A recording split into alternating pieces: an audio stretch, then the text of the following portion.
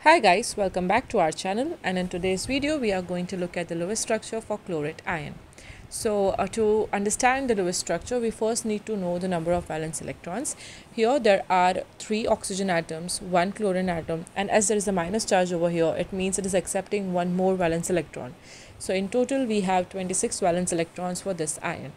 Now chlorine will take the central position over here and, uh, and all the oxygen atoms will be arranged around it like this. Now each bond takes up two valence electrons, so let's place a pair of valence electrons between each oxygen and chlorine atom to show a bond. Now we have already used up 6 valence electrons out of 26 in making these 3 single bonds and let's arrange the remaining electrons around atoms. Now arranging the remaining electrons around atoms you will come across the like complete octets for all atoms but this not this might not be the best Lewis structure for ClO3 minus and you might wonder why.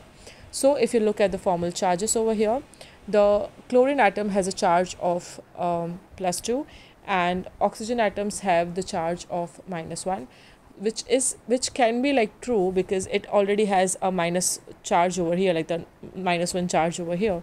But uh, in general chemistry we try to have a structure in which the charges are as near as zero as possible.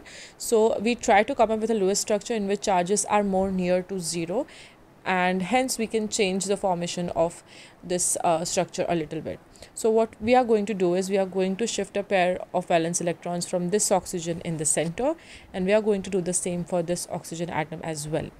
Now if you look at the formal charges of chlorine and oxygen atoms, these two oxygen atoms and the chlorine atom has a charge of 0 whereas this oxygen atom which is sharing just one valence electron with chlorine has a formal charge of minus 1 which is fine because we already have a charge of minus 1 over here.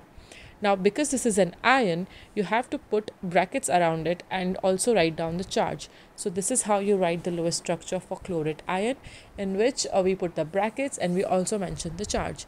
I hope this video helps you to understand the Lewis structure for chlorate ion and for more such videos on Lewis structure, molecular geometry, polarity of the molecules, make sure to subscribe to our channel and thanks for watching.